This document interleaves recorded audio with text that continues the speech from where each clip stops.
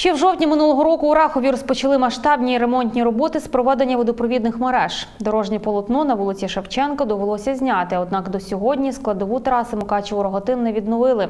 Причина нестача коштів і, очевидно, небажання підрядників. На дорогу ми теж оголосили тендер.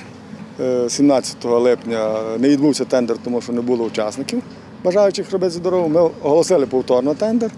Е, Я думаю, що відберемо учасника. Якщо не буде, буде прямий договір.